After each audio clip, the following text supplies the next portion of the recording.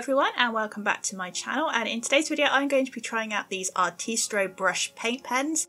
These are water-based acrylic brush pens and they come in eight normal colours and eight metallic colours and I really like this packaging.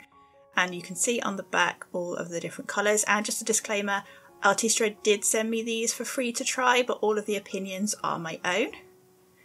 And if we just open up a marker you can see the nib is quite juicy. That's some really great focusing going on there. Really pro YouTube work.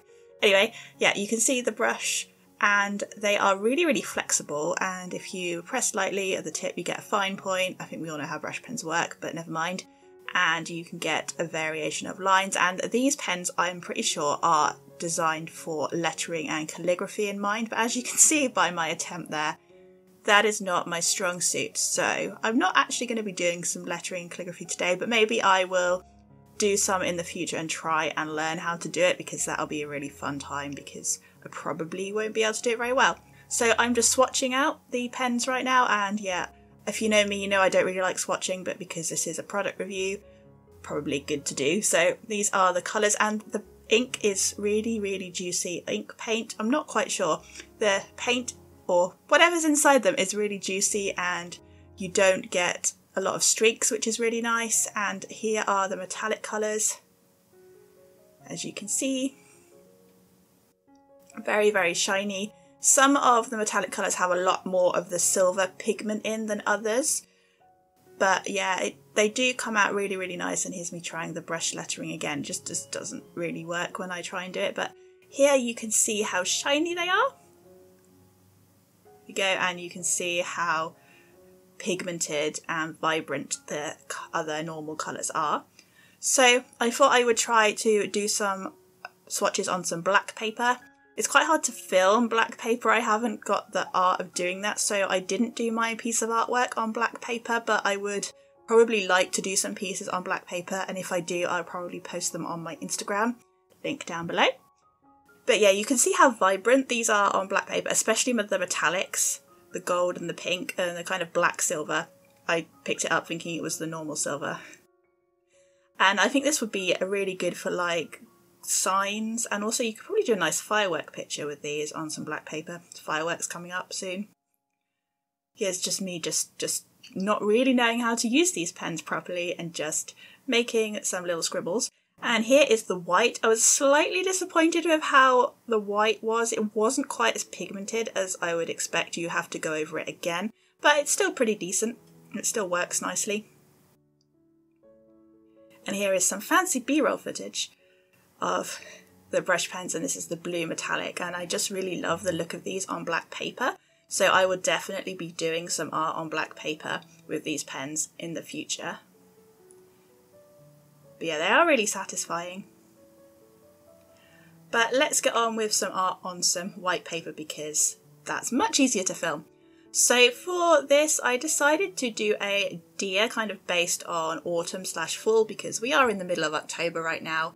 And I just decided to colour it with the brush pens and to colour it with lots of different marks because of the fur of the deer. I was just following along the fur and just adding layers. And these dried quite quickly and they do layer quite nicely. And what I ended up doing is using the white because the white wasn't necessarily very pigmented or very vibrant. I used that to kind of mix and blend a little bit. I use almost used it as a blender rather than a white itself and it kind of desaturated some of the colours which you kind of would expect anyway just to add the highlights of the deer without them being too vibrant so I'm using pretty much most of the colours, the orange, the brown, the red, the yellow, and also some of the turquoisey blue colour as well, just to add a little bit of depth in. At the moment it looks a little bit a little bit scary. Does this piece does go through some very awkward, scary looking phases.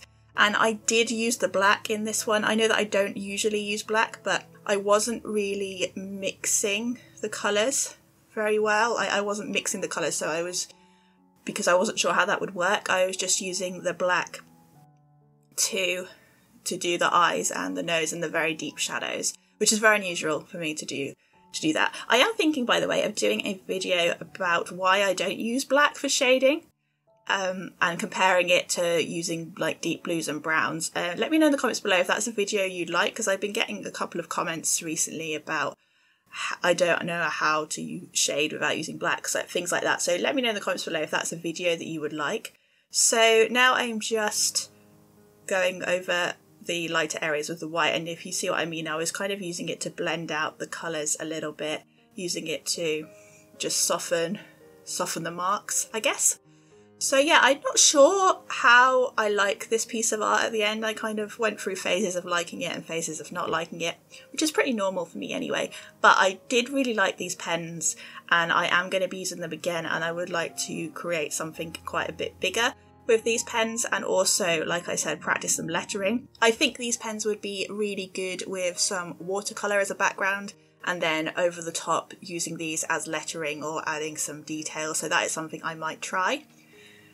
But yeah, I was really impressed with how these pens work and I forgot to mention how much they retail at. So I will leave the price up on the screen at how much they retail at because I'm a really great YouTuber and I forgot to check that. But if you would like to buy these pens, I will leave links in the description.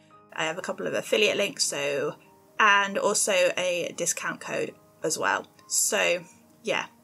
I do have some other Artistro videos on my channel as well. I will leave a link to that playlist up above and down below if you want to see what their other paint pens are like. They have paint pens that are sort of like Posca pens but are a bit of a cheaper alternative, but they work in a very similar way. So, yeah, if you're new to my channel, welcome. My name is Katy. I make art videos. Obviously, it's a bit of a silly thing for me to say, but I say it anyway. I do challenges, speed paints, and product reviews. Like I said, I've got some other Artistro products on my channel. Um, I recently did a DIY video based on Squid Game, so if you're into Squid Game, go check that out. And if you're new, please feel free to subscribe and hit the notification bell so you don't miss out on any future videos. And if you like this video, you know, emotionally, do leave it a like down below as that really does help me out. So once I had done the body of the deer, I went on to the antlers. And for the antlers, I added some leaves and like berries to kind of make it look a little bit less plain. Kind of the idea of deer with stuff hanging from the antlers is quite a popular thing in making art. So that's what I did. And I also used the Artistro standard fine tip paint pens for this to see how they would react over the top. And they go over the top really nicely. I think it's because they're both acrylic water based. Um, I think these brush pens are slightly different formula because you don't have to activate them or really shake them that much. They just kind of work. They don't have the, the noisy thing inside if you get what I mean. You know what I mean? The noisy thing when you shake a paint pen, it kind of makes a clicking noise. They don't have that, so I think the formula is slightly different, but they do complement each other quite well. You can use the paint, the normal paint pens on top of these brush pens. That's absolutely fine. And yeah, I am. I think overall I am pleased with how this turned out, but I do want to try and make something a little bit a little bit better and a bit more ambitious next time and maybe try some lettering, although I'm very impatient when it comes to lettering. I've never really done that much calligraphy. But yeah, let me know in the comments below if you would like me to try calligraphy. And just using the metallic green for the leaves, and then I went over it later on with the fine tip. And yeah, it's quite quite a simple piece, but I think I prefer the body of the deer to the antlers. I don't think I think it's the antlers that I don't really like. I think that just didn't really work out too well. I think it was the leaves. I'm not very good at drawing leaves. I've realised that leaves, I don't know why, they're pretty simple shapes, but I always tend to, to mess them up. But yeah, that is really all I've got to say for this video. So thank you so incredibly much for watching and thank you for listening to me ramble for about 10 minutes and the links to the product are in the description below. And yeah, I will shut up now and see you in the next video. Bye for now.